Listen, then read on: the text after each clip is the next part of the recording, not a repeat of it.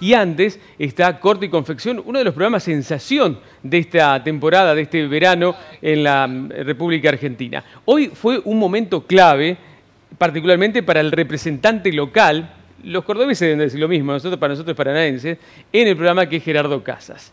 Eh, vamos a recrear un pedacito, a ver, vamos a ver qué fue lo que sucedió hace minutos nada más.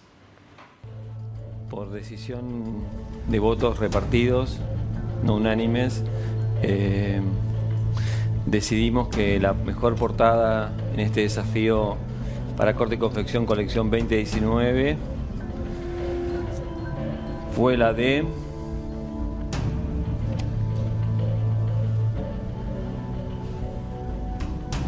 Gerardo.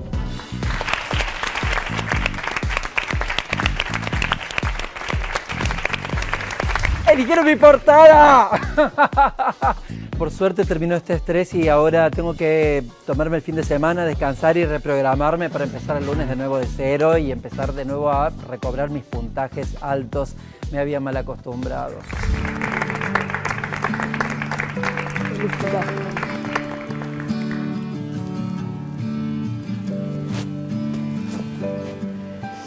Ahí estaba un poco más flojo, ahora ya ha pasado. Está Gerardo en línea directamente por videollamada desde Buenos Aires. ¿Cómo estás, Gerardo? Hola, Cristian, ¿cómo estás? ¿Me escuchas bien? Perfectamente, y te vemos muy bien también. Bueno, gracias, me alegro mucho. Bueno, contanos cómo estás viviendo, eh, además de lo que pasó hoy, estas instancias, esta participación en el programa, más de un mes en la televisión, todos los días en la televisión nacional. Sí, la verdad que si me lo hubieras dicho, nunca, si me hubieras dicho hace dos meses atrás que iba a estar todos los días en la televisión nacional, este, con un rating tan impresionante y que el programa iba a tener tanta repercusión, jamás lo hubiera creído. Estaba súper cómodo en mi lugar en Paraná, con todo el cariño que siempre siento de la gente de Paraná y que, que me lo demuestran a diario, incluso siguiéndome por las redes. Este, pero la verdad que venir a hacer esta conquista también es un desafío grande para los que somos del interior y, mm, y estoy muy feliz porque es súper intenso todo. Acá es una vorágine. ¿Es tal cual lo vemos o hay algo de actuación en todo eso? Es, eh, es, es tal cual lo ves porque nosotros no actuamos nunca ninguna de las, de las, de las emociones que tenemos.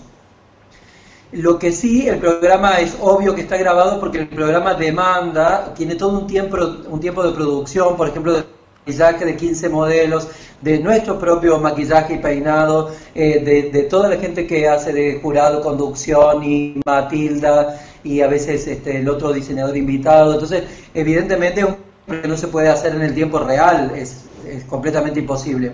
Mm, venías Pero, de, varias, de, varias, semanas muy buenas y de repente tuviste una esta semana complicada, difícil, ¿no?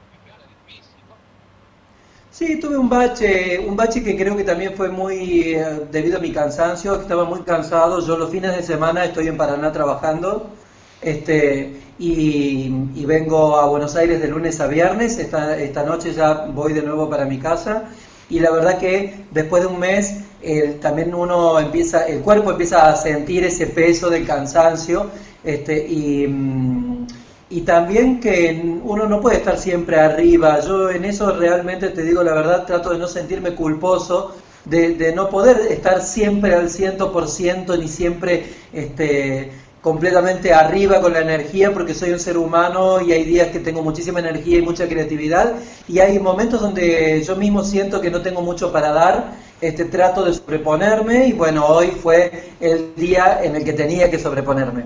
Gerardo, y los desafíos que les plantean a todos los participantes, en tu caso en particular, ¿qué tienen de distinto a lo que venías haciendo habitualmente en los talleres? ¿En dónde se presentan las dificultades, sentís vos? Virginia, ¿Cómo andás? ¿Cómo andás? Te adoro, Virginia. Yo también, me encanta verte ahí. Sos una persona muy, muy, muy afectuosa y eso vos sabés que yo lo valoro y lo agradezco muchísimo. Qué lindo. Eh, Qué lindo. Es, es, completamente diferente a mi trabajo lo que estoy haciendo, primero por la urgencia del tiempo, segundo porque no hay posibilidad de corregir una idea, cuando vos largás con una idea es hasta el final porque el tiempo no te da posibilidades de evaluar, corregir y volver a, plantearla, digamos. Empezás con una idea y la tenés que terminar y cuando le, te equivocaste en la idea, te equivocaste. En mi trabajo con las clientas, si yo veo algo que no me gusta, lo corrijo. Otra, otro tema es que nosotros no podemos probar los vestidos. El vestido lo armamos y se pone directamente en la modelo y salvo prender con algún alfiler algo que esté suelto algo por el estilo, no se puede retocar el vestido. No es que se prueba y se retoca a la medida de la modelo. Es bastante difícil el trabajo. Y por otro lado también hemos tenido muchos desafíos que no son exclusivamente de, por supuesto, nada ni parecido a la alta costura ni nada, donde yo particularmente, como no es mi métier, necesitaría a lo mejor un poco más de tiempo para investigar y para no cometer tantos errores, porque yo, por ejemplo, no soy vestuarista, si viene realizado vestuario, es distinto realizarlo con mucho tiempo que, hacerlo, pensarlo en cinco minutos y realizarlo en una hora y media. Mm. Ha sido muy, muy, impactante lo que te ha dicho, el, jurado en todas las oportunidades, te han halagado mucho, te han eh, tipos como Benito Fernández particularmente, ¿no? Eso debe ser para vos también muy satisfactorio. El jurado me respeta mucho y yo respeto mucho al jurado. Nos respetamos porque somos todos trabajadores con distintos niveles, por supuesto, de éxito y de, y de, y de exposición, pero somos todos trabajadores. Yo tengo mucho respeto por toda la gente que trabaja conmigo y también tengo mucho respeto y mucha admiración por mis compañeros de reality, porque ahí hay unos leones feroces, muy talentosos y muy capaces, y también hay otros que están demostrando mucha garra para sobreponerse a sus limitaciones y están mejorando día a día, por lo que mi conclusión es que todos los que quedamos estamos en condiciones de ganar y también de abandonar el certamen. Gerardo, no sé si vos lees lo que la gente te dice, te escribe en las redes sociales en particular, pero yo estaba viendo, con cada nota que publicamos nosotros en el muro del programa, vemos que hay un montón de gente de Paraná, del interior de Entre Ríos, de Santa Fe, dice, vamos Gerardo, qué lindo que verte por ahí, he logrado que mi marido mire un programa de televisión a la tarde, queremos que te vaya bien, rezamos por vos todos los días. ¿Qué te producen esas cosas? Produce la misma emoción que me produce en este momento, que voy a tratar de no llorar, pero, pero les juro que recibo todos los días miles de mensajes, miles, miles, literalmente miles, de Bolivia, de Paraguay, de Chile, de México, de Canadá. Estoy siendo completamente em, sincero y exacto con lo que te estoy diciendo.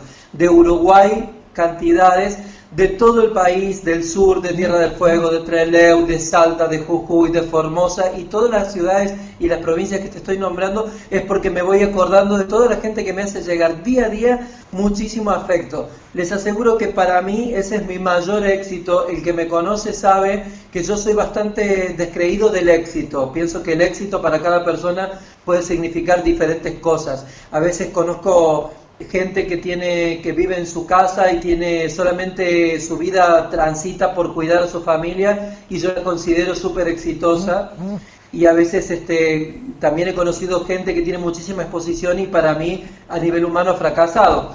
O sea que para mí el, el, el tema, la palabra éxito es muy relativa y es muy subjetiva. Mi éxito con la mano en el corazón te lo digo, es lograr el afecto de tanta gente simplemente mostrándome como yo soy. Y por suerte tengo de testigo a todo Paraná que el que me conoce o el que me ha visto o el que ha tratado conmigo sabe que yo soy exactamente lo que me ve en televisión. No tengo ningún otro, no hay ninguna pose. Gerardo, quienes te conocemos sabemos que no fuiste por el premio, no es algo que estés buscando.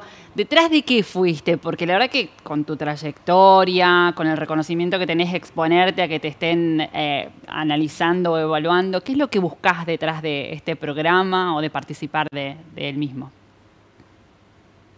Eh, mira, Virgi, eh, yo tengo la suerte de tenerlo casi todo. No más, o sea, seguramente mucho más que otros y mucho menos que otros, por supuesto. Pero tengo la suerte de que he logrado casi todo en mi vida lo que me he propuesto. Digamos, he tenido la suerte de conocer el amor y he estado en pareja muchos años. He, tenido la suerte de poder construir mi propia casa. Este, tengo la suerte de tener una familia hermosa. Soy una persona exitosa en ese sentido. Eh, pero yo tengo 48 años, siempre digo 50 o redondeo en 50, pero tengo solo 48. Y mm, ponerme a prueba a esta altura de mi vida, ponerme a prueba a mí mismo, este, y en vez de estar en la comodidad de mi casa y disfrutando del, del verano en mi pileta con mis amigos comiendo asados, este, he decidido ponerme en esta vorágine y, y demostrarme a mí mismo, primero de que soy capaz, y segundo de que mi tiempo no ha terminado, mi tiempo recién empieza. Y es un mensaje que yo quiero darle a, toda la gente de mi edad, este, de que todavía podemos empezar muchísimos proyectos nuevos y que, que, la vida, por suerte, nos da muchas oportunidades. Yo he tenido muchas oportunidades y sigo buscando más.